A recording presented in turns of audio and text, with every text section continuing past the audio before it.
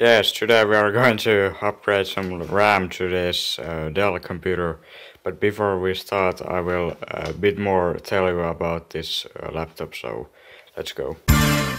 So hello guys, it's CaffeBoy here again and welcome back to new CPC video. Today we are going to upgrade some RAM to this uh, Dell Latitude E6430. This has uh, third generation Intel Core i5 processor, integrated uh, Intel HD graphics, 4 gigs of RAM and uh, 250 gigabyte hard drive.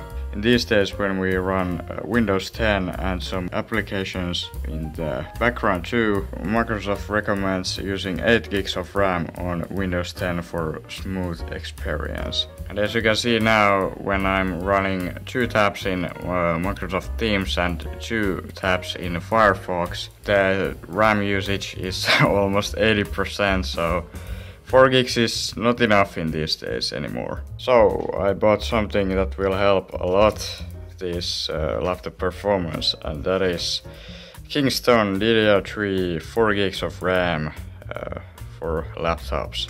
Let's put this to this laptop and uh, let's see if this computer is much smoother when we put this in there. Let's see what happens. And a real old Dell closes with this this thing with in here it keeps it closed so it won't open really nice first let's take battery off right now I had taken this battery off and uh, hard drive and DVD player too so now we will open this case it's a bit dirty but uh, it haven't been opened since a while so now we'll put this RAM stick in here let's see what happens Right. It, it looks that it is right there now. Let's uh, boot up the machine and let's see if it uh, recognizes this thing. Well, what do you expect? Of course it did recognize it. And I found the reason why. I didn't pull the memory stick that hard to the place where it have to go, so I had to open the case again and uh, that time I successfully uh, get that to work so here's straight clip to that moment.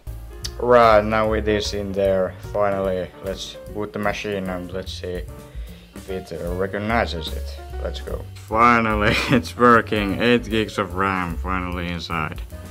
Let's open Windows and let's see what happens. Yeah, much better now.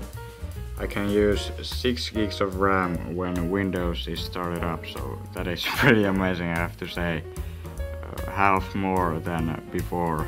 Now memory usage is now fine and uh, it was a really amazing upgrade I have to say, but now let's test Roblox. It looks like there is 10 more FPS than before, so that is pretty nice I have to say. It's sometimes in 16 and sometimes in 50 but uh, before it was in 40 or 30 so this is really nice upgrade and uh, thank you guys really much for watching this CPC video. We will see next CPC videos next videos bye bye